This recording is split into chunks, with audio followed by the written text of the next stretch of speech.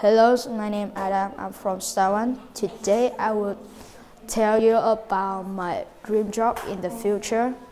Um, if in the future I have a change, change to choose a job which makes me feel interested and fantastic, I will, I will be a favorite doctor.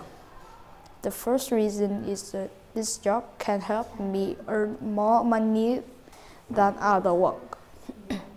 for, for instance, normally a person just earn 8 million Viet, Vietnam dong per month.